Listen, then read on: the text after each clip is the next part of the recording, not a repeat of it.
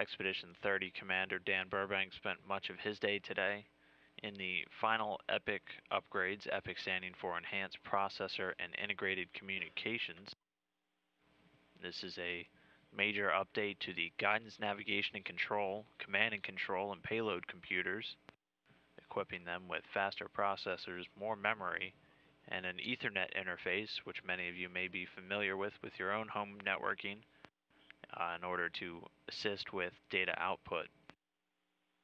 This has been a fairly exhaustive upgrade to the station's computer systems, uh, starting back in December, just about a week ago.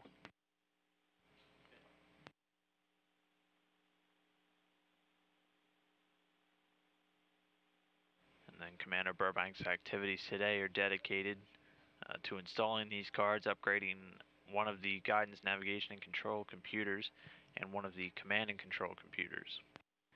And then he was assisted throughout the day by fellow NASA astronaut Don Pettit, who did a lot of the cable routing, installing those Ethernet cables uh, to assist in the data output.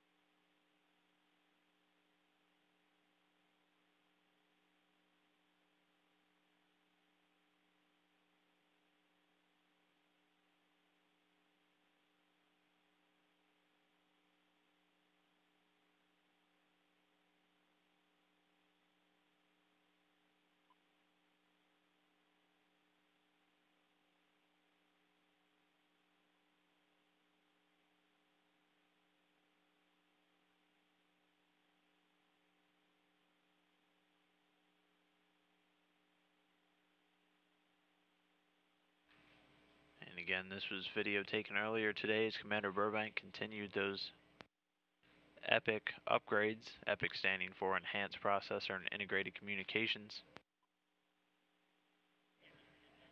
These upgrades are going to enable the operation of more controlled experiments at any one time.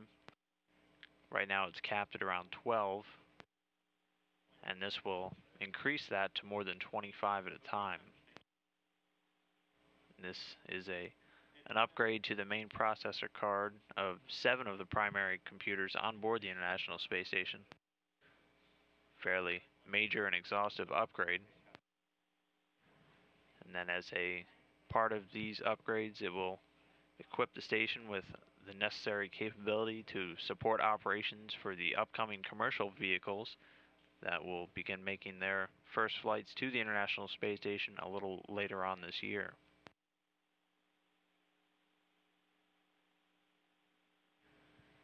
And each of the cards that were flown earlier to the station before the Soyuz 29 were tested once on board to ensure that uh, no potential problems would arise after their installation, and they all checked out perfectly fine.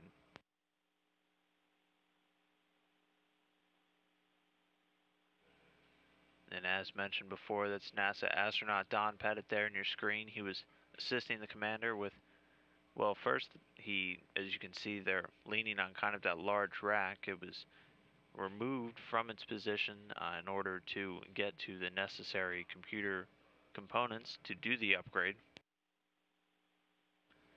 That microgravity environment providing the astronauts with a unique ability to move these very large refrigerator-sized objects with relative ease.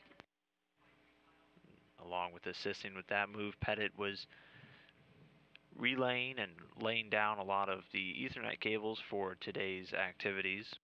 That Ethernet, similar to what you may find in your own home networks and offices, and will provide a better interface for data output with the station's computers.